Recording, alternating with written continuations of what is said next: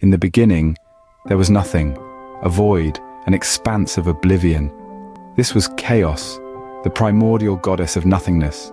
She was the first, predating the gods of Olympus, the Titans, even the earth itself. Chaos is a fascinating concept, isn't she?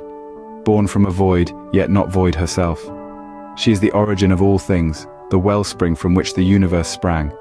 She is the canvas upon which the cosmos was painted, the stage upon which the drama of existence unfolds. Think of the sports we love. Every match, every game is a miniature universe born from chaos.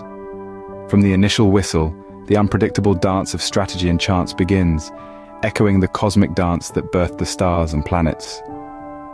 So next time you watch your favorite team, remember, every play, every move, every moment of uncertainty is a tribute to chaos, the goddess of nothingness and the first. Fascinating, isn't it?